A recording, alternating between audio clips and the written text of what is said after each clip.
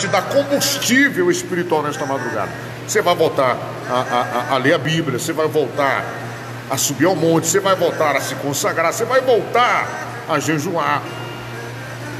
Porque nem jejuar mais você está jejuando. Isso é muito perigoso. Muito perigoso, tá? Então Jesus me parou aqui na igreja aqui esta madrugada para mim poder fazer esse sacrifício para a senhora. Irei fazer com o maior prazer, amor e carinho. Não deixe o fogo apagar. Não deixe o fogo apagar. O fogo tem que permanecer aceso. Oração, jejum, consagração, leitura da palavra, subindo ao monte. Amados e amadas, não custa nada você parar dez minutinhos todos os dias e ler a palavra e ler a Bíblia. Sabe?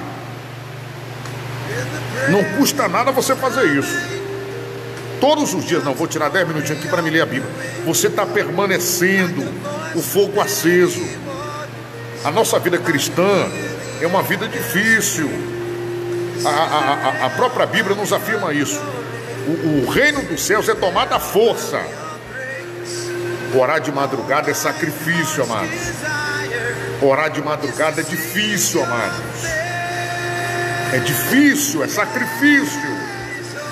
Há muitos irmãos e irmãs que estão me acompanhando agora que estão afastados. E você vai voltar hoje para Jesus. Você vai voltar hoje para Jesus. Porque Jesus tem chamado na tua vida, promessa na tua vida. Sabe? E, e, você vê que você se afastou de Jesus porque você parou de ler a Bíblia, parou de se consagrar, de jejuar, subir ao monte.